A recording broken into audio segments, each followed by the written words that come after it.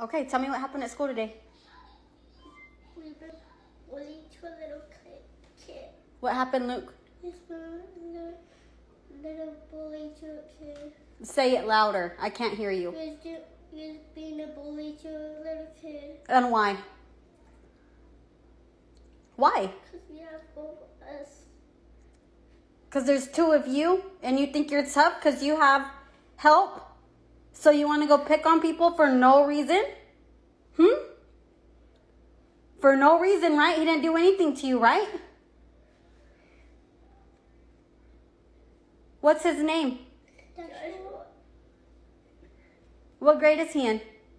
first grade. Like you? Is he in your class?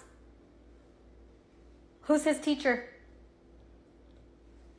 Well, tomorrow morning, guess what? Guess what? I'm going to go to that school and I'm going to find out whose class he's in, and both of you are going to go say sorry in front of the whole class. You thought you were cute, embarrassing him and being mean to him for no reason? Do I allow bullies in this house? Do you think that's okay? To be mean for no reason?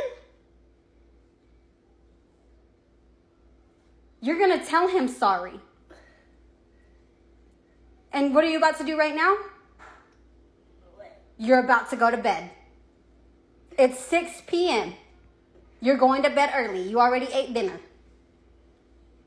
Tomorrow morning, you're going to go to school and I'm going to go with you. We're going to find that boy and you're going to say sorry, both of you. Look at me when I'm talking to you, Luke. Both of you are going to say sorry, and I do not ever, ever want to hear that you're being a bully again. Do you understand? You knew I would not be okay with that, right? You knew when you got in that car that you were in trouble. And guess what? Tomorrow's the parade, and you're not going. Y'all are not going. I'm going to take Brooklyn, and you can go sit at grandma's house and not watch TV or anything.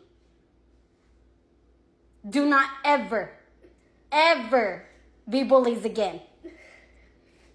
Say sorry Sorry. to Joshua. Say sorry. Put your hands down.